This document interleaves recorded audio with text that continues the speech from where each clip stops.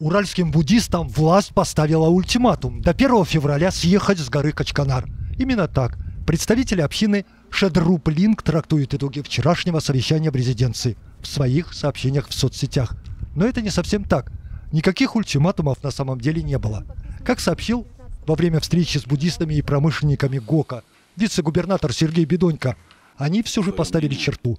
Либо с понедельника, с 1 февраля, верующие наконец-то начнут соблюдать условия трехстороннего соглашения о посещении культовой точки на горе только по выходным и в дни буддистских праздников, либо все будет по закону, то есть судебными приставами, и постройки принудительно снесут, добавил вице-губернатор, сославшись на судное решение недельной давности. Либо мы возвращаемся и выполняем соглашение, которое подписано, либо каждая сторона уже будет вольна идти своим путем и, соответственно, а, выполнять требования законодательства. Суд эти полномочия 18 января подтвердил. 18 января этого года Качканарская Фемида вынесла определение, подтверждающее прежнее решение суда о принудительном сносе буддистских построек на горе Качканар. Если до понедельника со стороны людей горной общины не будет никаких подвижек в сторону добра и консенсуса, решение суда начнут исполнять. С опозданием, правда, в 6 лет. Актом доброй воли, позволяющим урегулировать ситуацию, связанную с нахождением без правовых оснований сооружений и построек буддийской общины на земельной участке горы Качканар, не прибегая к принудительному исполнению судебного решения от 2014 года, стало заключение в октябре 2019 года соглашения о намерениях. Сейчас уже не так важно оглядываться назад, куда важнее думать, что будет завтра.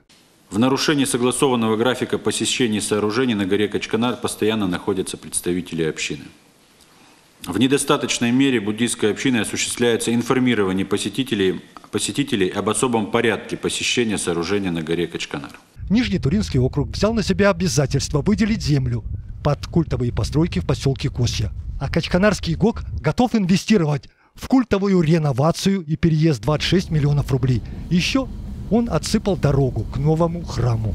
Считаю, что со стороны органов государственной власти Свердловской области и Качканарского ГОКа все соглашения выполнились в полном объеме. В октябре 2020 года после серии непростых переговоров было заключено дополнительное соглашение, в котором был определен порядок посещения земельного участка на горе Качканар членами буддийской общины и туристическими группами.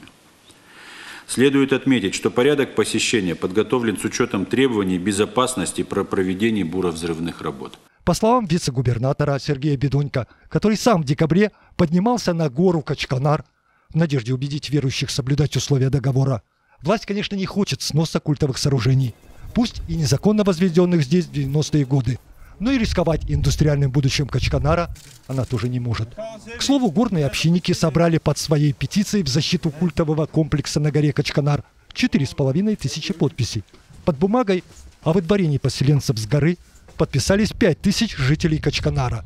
Губернский омбудсмен Татьяна Мерзлякова в ходе совещания заявила о том, что сейчас делается все возможное, чтобы буддийская община в Качканаре продолжала существовать. Если к понедельнику дежурные монастыря не покинут гору, Евраз ГОК волен исполнить судное решение о сносе храмовых построек. Воспользуются ли этим правом промышленники, пока сказать сложно.